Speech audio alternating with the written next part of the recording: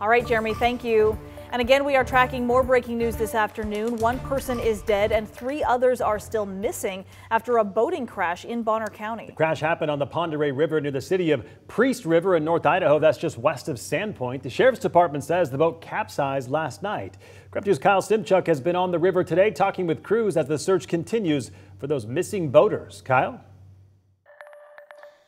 Crews have been out here all day searching for those three missing boaters. They've been missing for about 22 hours at this point. The Bonner County Sheriff's Office says the boat crashed just around this portion of the river around 7 p.m. last night.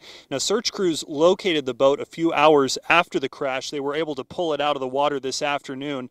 And looking at some of the pictures, you can see some significant damage to one side of the bow. Now, it's still unclear what caused this high performance boat to capsize. Deputies say four people were on board.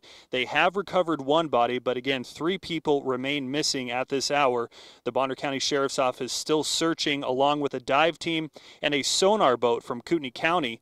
Now, the river itself runs to the west, but wind is really blowing to the east, so they have a large area to cover, and right now they are uh, fairly spread out.